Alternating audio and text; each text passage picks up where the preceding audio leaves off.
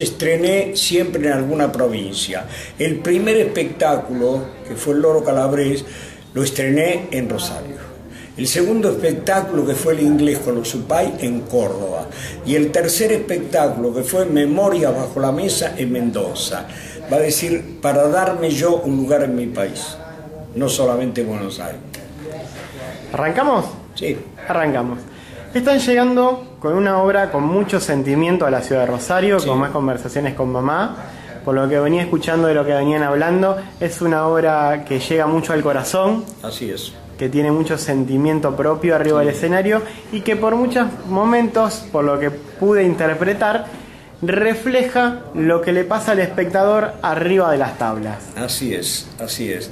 Además, lo que pasa es que yo siento particular interés en hablar de estas cosas, porque la vida no pasa solamente por el deseo de las cosas, las ambiciones, el, obtener objetos.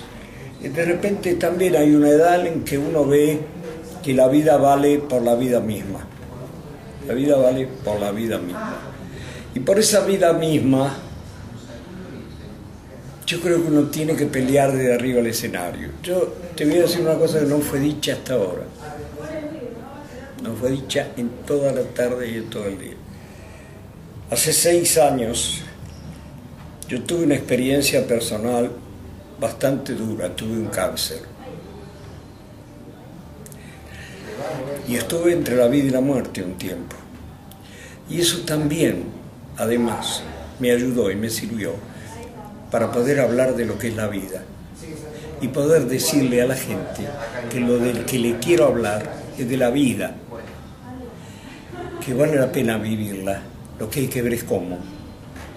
Creo que cuando uno pasa por una experiencia tan, tan complicada, el límite valora mucho más la vida. Exactamente. Es terrible el solo hecho de mencionar lo que puede pasar cuando vos vas con una radiografía, por cualquier tontera la ponen así y te dicen, usted tiene un cáncer. Debe ser tremendo el, shock en ese momento. Bueno, a partir de ahí, entre todo lo que ocurrió y la posibilidad de volver a la vida, es hablar de la vida y hablar bien a la gente. Porque yo, ¿qué gano descalificando la vida de la gente? A ver, decime, yo, yo personalmente nada. no sé otro, yo nada, yo nada, no me sirve, te juro, para nada, pero para nada. Al contrario, lo que me sirve es tratar de transmitirle al otro que a pesar de todo vale la pena. Porque si no queda una alternativa. Si todo esto está podrido, hay que agarrar un revólver, lo que y eso tampoco tiene sentido. Entonces, si eso no tiene sentido, la otra, la vida, tiene sentido si uno la llena con cosas. ¿Cómo es mamá? Mamá es como todas las mamás. Mamá, hay mamás que hasta, hay mamás que hasta tienen vergüenza. hay de todo en la viña del Señor.